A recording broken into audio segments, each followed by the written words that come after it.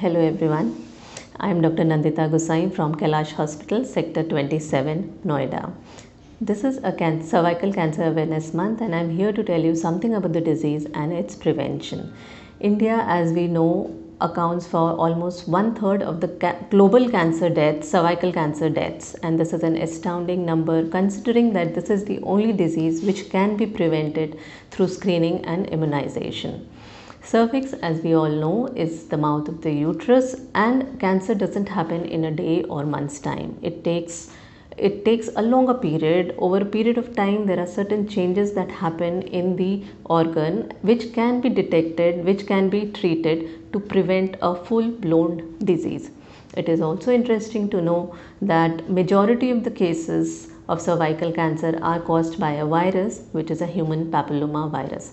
There are certain warning signs also, such as excessive vaginal discharge, intermenstrual bleeding, spotting, premenstrual spotting, and postcoital spottings. We have a screening protocol, screening uh, program in place to detect these cervical cancers in a precancerous condition and this is this can be done by a very simple OPD based test and which is not very expensive also a pap smear test the pap smear test can also be combined by with testing of HPV DNA to detect the human papilloma virus in the smear as well. So this, uh, according to the protocol, uh, every woman who is sexually active for more than three years should get a pap smear done. And this testing should be done every three yearly. If we do a co-testing, that is pap smear along with HPV DNA, then the testing can be repeated every five yearly. But it is important here to know that this testing should continue till 65 years of age. So this forms a part of prevention that is screening. Now the second part is the vaccination. We have vaccine for the cervical cancer and this is the only cancer where we can give a vaccine for prevention. This vaccine is primarily aimed at human papilloma virus strains, mainly 16, 18, 11, 6.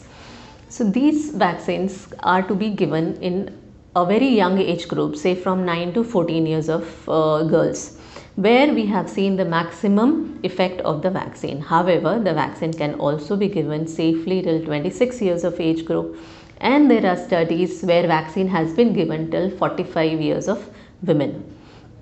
So we need to sensitize this and we need to know that our girls, our young girls, daughters and sisters should be vaccinated.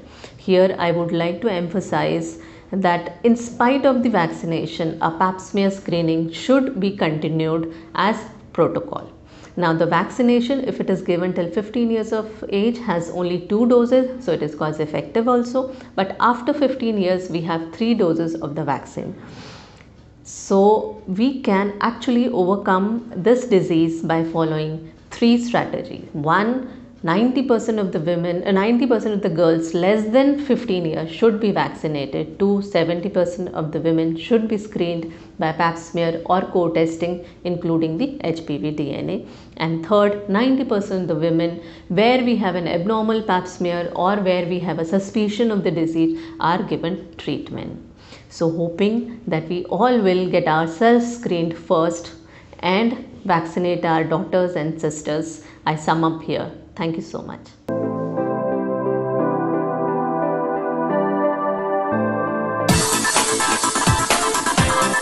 Subscribe now and press the bell icon. Never miss an update.